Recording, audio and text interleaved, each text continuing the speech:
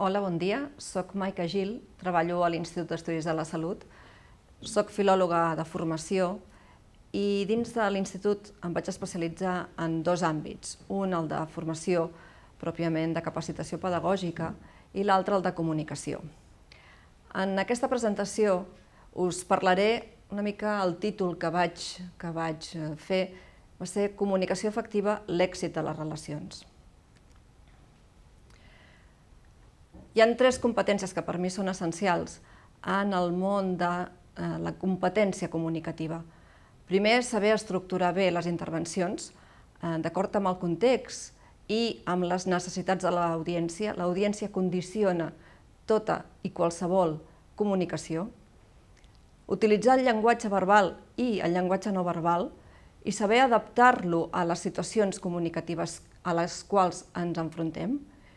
I per últim, també saber utilitzar els diferents recursos que tenim per aconseguir els objectius comunicatius que ens hem proposat.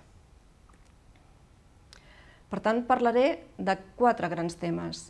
El procés de comunicació, la preparació d'una exposició, quins són els elements a tenir en compte, les característiques que fan Mm, d'un comunicador, un comunicador efectiu, i la comunicació no verbal com a eina i com a recurs important a l'hora d'agafar aquesta competència comunicativa.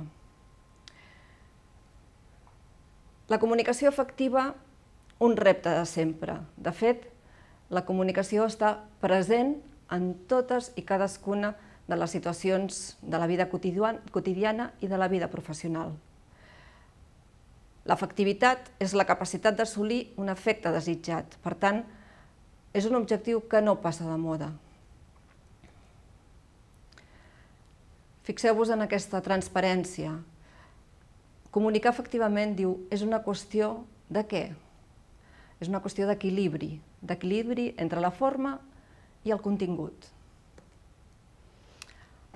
Però compte, si hi ha algú que no està disposat a posar en pràctica aquests cinc elements, millor que quasi no, no vagi a fer aquesta, aquesta sessió.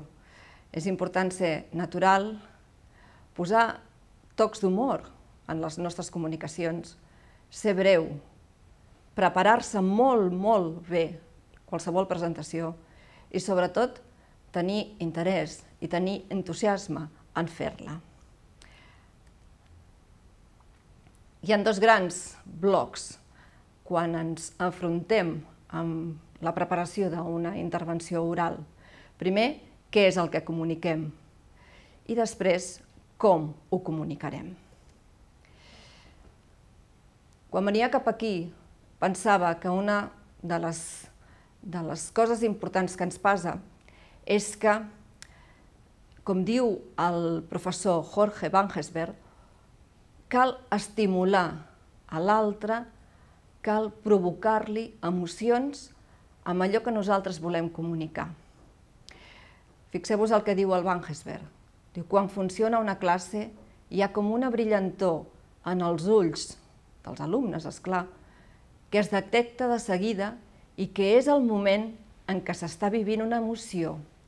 I fixeu-vos que això és un, un high level, és el repte de qualsevol docent, de qualsevol comunicador. Estàs canviant l'alumne amb emocions.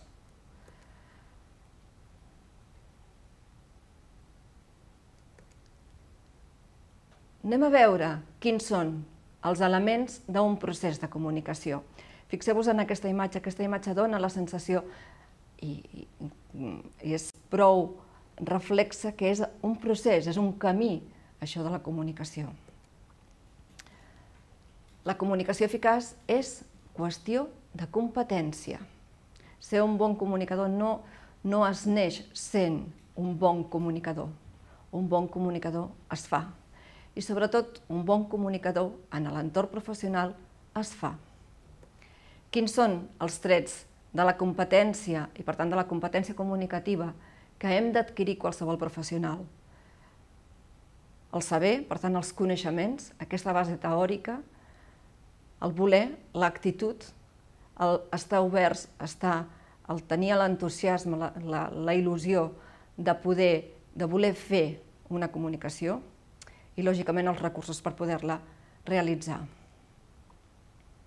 Hi ha una gran diferència i a vegades en el món de la comunicació eh, s'utilitzen els, dos termes, els dos termes com eh, sinònims, comunicació i informació, comunicar i informar. Hi ha una gran diferència. Comunicar etimològicament vol dir compartir. Ja us he posat aquesta frase, fer que l'altre participi d'allò que nosaltres posseïm. Fixeu-vos, trobar un terreny comú entre el que nosaltres eh, estem disposats a donar, estem disposats a explicar, a oferir, i el que l'altre està disposat a sentir, a escoltar, a retenir.